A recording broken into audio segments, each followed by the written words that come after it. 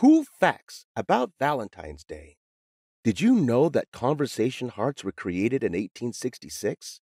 And around 8 billion hearts are made every year? Pretty wild, right? Speaking of hearts, the first chocolate hearts were made by the Cadbury Company in 1861, and more than 36 million boxes of chocolate hearts are sold each year. Can you guess how many roses are grown every year in preparation for Valentine's Day? Around 250 million. Whoa! And more than 145 million Valentine's Day cards are sold every year. Talk about a popular holiday.